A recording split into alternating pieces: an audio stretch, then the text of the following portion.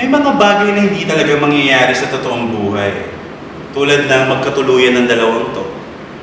Asak ka pa. Hindi lahat ng gusto mo mangyayari sa totoong buhay. Pero sa kwento mo, ikaw ang Diyos. Ang imposible pwedeng maging posible. Pwedeng mo nga lagyan ng action, romance, drama, comedy. Lagyan mo pa ng special effects. Boom! I'm Eman de la Cruz and I'm going to be your God pagdating sa kwento, a scriptwriting seminar. Ikaw, anong kwento mo?